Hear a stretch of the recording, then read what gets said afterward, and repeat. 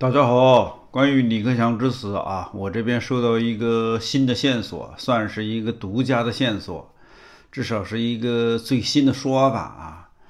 先跟大家分享一下啊，然后呢，我们来做一些个分析啊。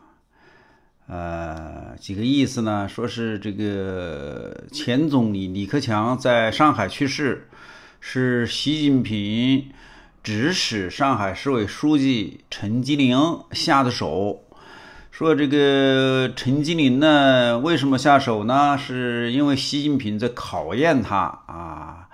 说这个习包子呢，二十大刚刚开完，他就开始在筹备二十一大了啊。二十一大他肯定是要连任的啊，毫无疑问，想都别想，除非他死了。那连任的话，现有的所有的常委都要滚蛋啊，一个都不留。那接接下来要是要选六个人，他自己除外啊。六个人的话，好多人都是跃跃欲试，想进这个笼子啊，进常委嘛，这是了不得的事情。所以呢，习包子呢就下了一个秘密的命令，或者是一个秘密的行动，就是看谁。啊，在这五年之内啊，把这个李克强搞死。因为李克强呢是习近平的心腹大患。李克强年轻啊，李克强过去呢十年呢不断的给习包子添堵。李克强呢曾经用中指反对香港的什么什么国安法通过，也反对修宪，说李克强不死，习近平的寝食难安，是吧？李克强不死，很有可能卷土重来。这时候呢，他就希望有人呢，能够在他不怎么知情的情况下，把李克强搞死，然后他两手一摊，没关系，是吧？跟跟自己没关系，他不知道这个事情。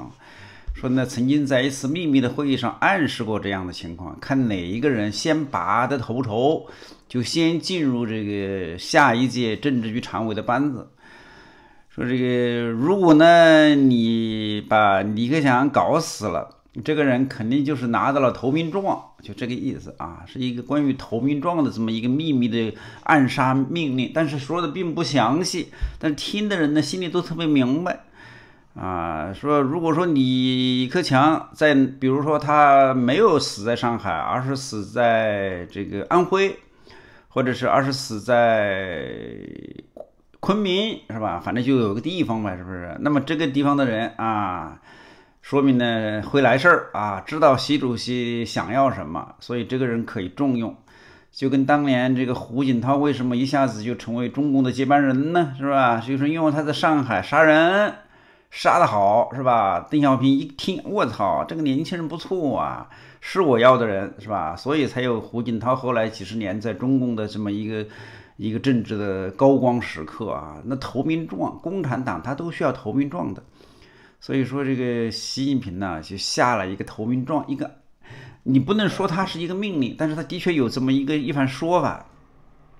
谁能够杀死李克强啊？谁能够给我提前交这个投名状，谁就是下一届二十一届常委的人选。所以现在呢，基本上就得得到一个结论啊，嗯。凡是没有成功的搞这个事情的人，习近平就要考虑考虑，说这个陈吉宁呢是搞得最快啊，还说这个李克强啊，一直啊退休以后啊都是非常的谨小慎微啊，因为他太了解习近平了啊，他知道包子弟啊疑心特别重，每次包子出访之前。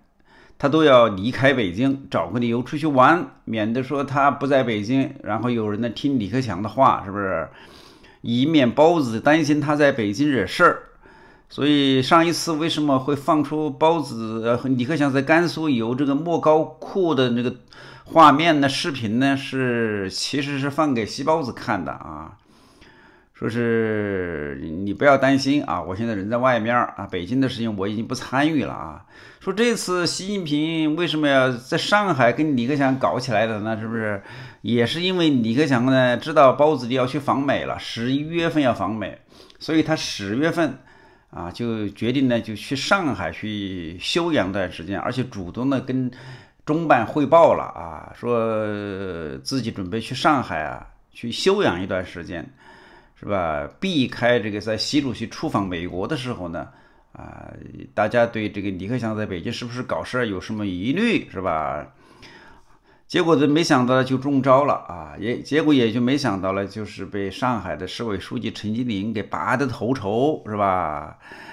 他其实可能是有人说犯了一个错误，是不是？你不应该去上海呀？其实我告诉你啊，他不去上海，去另外一个地方也有可能啊，也有可能被其他的另外一个人杀掉。比如去天津哈，或者去什么什么什么广州，如果去广州的话，就可能被陈曦杀掉，是吧？是叫陈曦还是叫陈什么？我不记得了啊。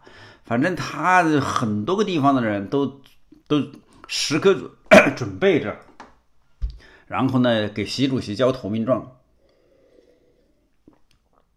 就这么一个线索。这是我刚刚听到的啊，一个新的说法，一个新的线索。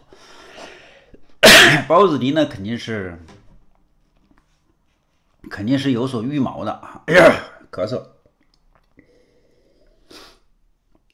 包子迪目前最大的政治对手肯定不在现有的班子里面，一般情况下都是在现有的班子里面。现在你看，包子迪现有的班子全是他的太监，没有一个人敢对包子迪说半个不字，是不是？那如果现有的班子没有的话，那那只有可能是已经这个什么早就退休的什么温家宝、朱镕基这些东西都是老东西了，八九十岁了不可能，是不是？那么你算了，就只有西李克强嘛，因为关键李克强太年轻了，是吧？汪洋也是非常的危险，这些人都在细胞子的投名状的计划里面。所以呢，今天主要跟大家讲一个习包子的投名状的计划，看谁谁抢得头筹，然后你就能进入二十一大的班子。包子这是绝无可能二十一大的时候退休的啊，他一定要干干干到死，要干到一百五十岁，活多久就干多久，这是毫无疑问的。就跟这个金正恩一样的，就跟这个普京一样的啊，他不可能退休的。所以呢，上一次我们说西下你上，我们是基于共产党的一个基本的游戏规则。所以当时我们就说了啊，邓小平都认同这个游戏规则，是吧？曾庆红也认同这个游戏规则。曾庆红是红二代啊，你必须承认。曾庆红如果那个时候动点手脚，让习让让这个什么江泽民同意他当总书记，有什么不可以呢？但是有游戏规则嘛，是不是？共产党你虽然是个土匪组织，你得游戏规则嘛。你如果没有游戏规则，那不乱套了，那不整个天下不乱了吗？哎，现在就是整个天下乱了，为什么呀？包子弟其实压力挺大的，因为他这个想一直干到死，这个时候他必须把所有的潜藏的对手都要干掉，一个都不放过。所以此前呢，我们也是太天真了啊！我反反复复说过好几期节目，就反复提一个很愚蠢的问题啊，我们这些人也是蛮愚蠢的，说你李克强为什么要去上海？上海不是你的地盘呐，是不是？去安徽也一样啊。去什么地方都一样，因为他有一个秘密的这么一个投名状的命令啊，他已经在布置下一届的这个常委的班子。而你到共产党的官员的体系里面混的混到这一步，谁不想进入这个细胞子二十一大的常委班子呢？是不是？是吧？你查一下陈吉宁这个人啊，那可年轻了，那年轻的很呐，一九六四年二月四号生的，开玩笑是不是？这距离常委就是一步之遥啊！现在是上海市委书记呀，开玩笑，曾经做过环境保护部的部长、环保部的部长、北京市委副书记、北京市政府的市长，是不是？是，而且是清华系的人呐，你明白吗？他有系的，陈吉宁是清华系的啊，清华系和北大系，现在北大是全军覆没了，那陈吉宁是清华系的，这么年轻。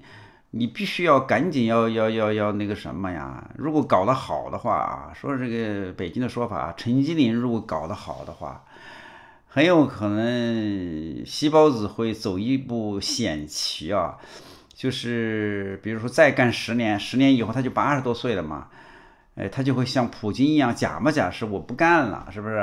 我呢，把总书记给这个位置让出来，然后在背后就垂帘听政嘛，是不是？这时候前面就有就有一个人要上来嘛，是不是？那这个人最好的人选就是就是陈吉宁，要太年轻了，他六四年的，是不是？六四年的话，五年以后才六十六十几岁，六十四岁，六十五都不到啊，十年以后也才六十八岁啊。是不是？十年以后六十八岁接西包子的总书记的班子，也一点问题都没有，是不是？然后完了以后，西包子垂帘听政呢？所以在所有的人选里面，陈吉宁是最有可能成为西包子的接班人，或者是成为啊下一届的仅次于西包子的常委的，要么是国务院的总理，要么是直接接西西包子的总书记的职位。然后西包子假模假是谦虚一下，是不是？因为我们说过嘛，共产党虽然是个流氓组织，它是有规矩的嘛，是吧？我我我我我干五年，我假装退休，我垂帘听政，完了以后五年以后我又杀回来啊，然后制造一个事件，说全国人民不能没有习主席，没有习主席我们不能活，是不是？就把这个陈吉宁作为一个最好的这么一个傀儡，而且陈吉宁呢，他是一个知识分子，他是个科学家，他是个博士，是个教授，是吧？所以你习包子虽然是个小学生，但是你李克强虽然是个博士，是一个教授，那你人家陈吉宁也是啊。